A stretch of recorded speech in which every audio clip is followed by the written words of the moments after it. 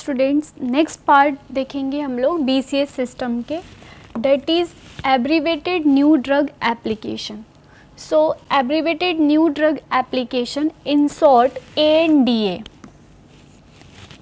so basically इसके अंदर होता क्या है? ए एन डी ए सबसे पहले ये एप्लीकेशंस हैं। N D is N applications और ये एप्लीकेशंस जो है सबमिट करने पड़ते हैं एफडीए को फ़ूड ड्रग एडमिनिस्ट्रेशन को।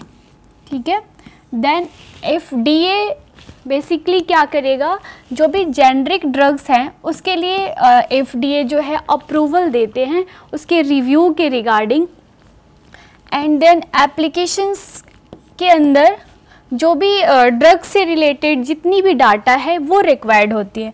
So application contains necessary data related to drugs जो भी ड्रग से रिलेटेड नेसेसरी डाटा हैं, वो सारे रिक्वायर्ड होते हैं। ठीक है? So next once F D F D A is approved application अगर एफ़ डी ए जो है अप्रूव्ड कर देता है एप्लीकेशन को जो भी एप्लीकेंट होते हैं बेसिकली अगर वो किसी भी ड्रग की मैन्युफैक्चरिंग कर रहे हैं सो so, uh, उनके अप्रूवल के बाद जो है जो भी जेनरिक ड्रग्स है वो जेनरिक ड्रग जो है मार्केट में लेकर आया जा सकता है। और बेसिकली इसके अंदर जो ड्रग जेनरिक ड्रग मार्केट में आ रही है सो so, मार्केट uh, में आने के बाद ये ऑफ़र करेंगे कि ये ड्रग जो है बेसिकली आपके लिए सेफ़ है इफ़ेक्टिव है और इसकी कॉस्ट जो है वो लोअर है मींस कम है as compare to branded drugs ठीक है? Then next generic drugs basically generic drugs के अंदर कोई भी प्री क्लिनिकल स्टडी की नीड नहीं होती है। एनिमल स्टडी की रिक्वायरमेंट नहीं होती है और क्लिनिकल डाटा की भी रिक्वायरमेंट नहीं होती है। इसलिए नहीं होती है कि ये जेनरिक ड्रग जो है जो ब्रांड ड्रग होती है ब्रांड ड्रग एक्सपायर्ड होने के बाद ही ये ड्रग बेसिकली कन्वर्ट होता है जेनरिक ड्रग के अंदर। सो so, इसलिए इसमें प्री क्लिनिकल और क्लिनिकल डेटा की कोई रिक्वायरमेंट नहीं होती है। ठीक है?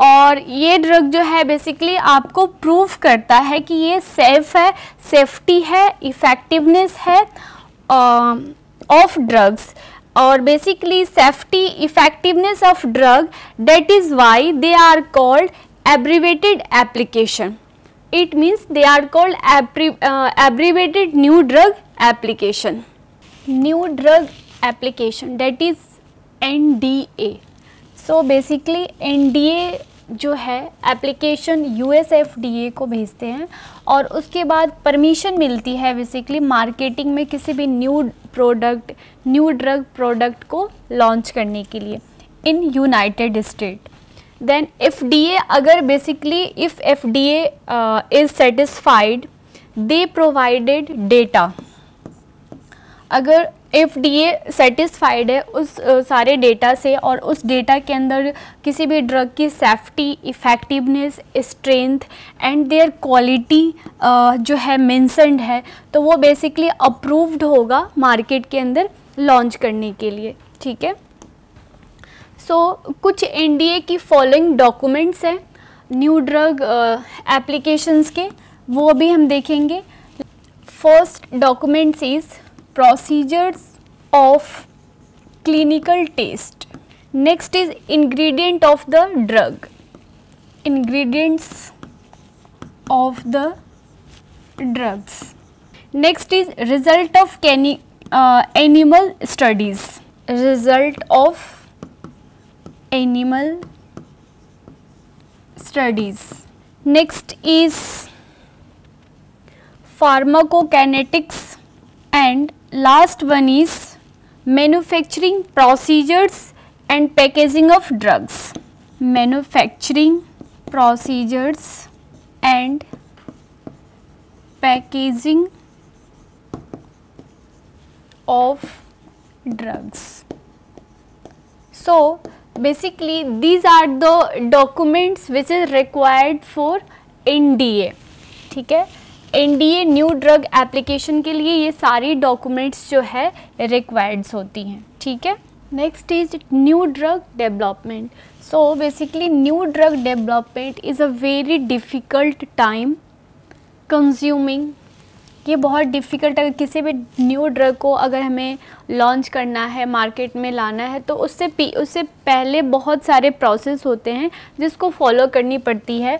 That's why it is very expensive process and less than one percent of compound one percent of compound undergo research for development of a new drug basically one percent of compound के ही new drug के लिए research करते हैं और ये अगर आपका अप्रूव्ड हो जाता है तो ये आपका लाइसेंस मेडिसिन के रूप में जो है आपके मार्केट में आएगा।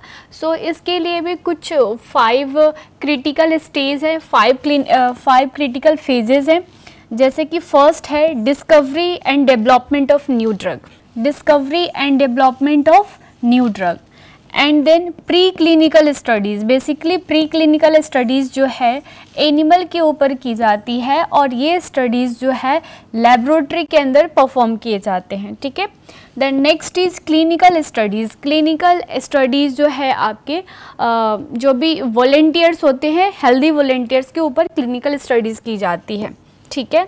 Then F D A drug review, जो भी फ़ूड ड्रग एडमिनिस्ट्रेशन है, उसकी ड्रग्स की रिव्यू देखी जाती है न्यू ड्रग डेवलपमेंट के लिए। Then post marketing drug and safety monitoring जो भी ड्रग आई है मार्केट में, उसके बाद में उसमें क्या, किस तरह के लोगों को उसकी साइड इफ़ेक्ट्स हुई या उसकी मोनिटरिंग बेसिकली करना कि वो सेफ़ है या नहीं है, ठीक है? So these are the five clinical stages या we can say these are the five main phases which is use in new drug development तो आज की क्लास यहीं पे आज कंप्लीट हो रही है। नेक्स्ट क्लास में जो भी रिमेनिंग पार्ट्स रह गए हैं इस चैप्टर के अंदर वो हम लोग कवर करेंगे। Thank you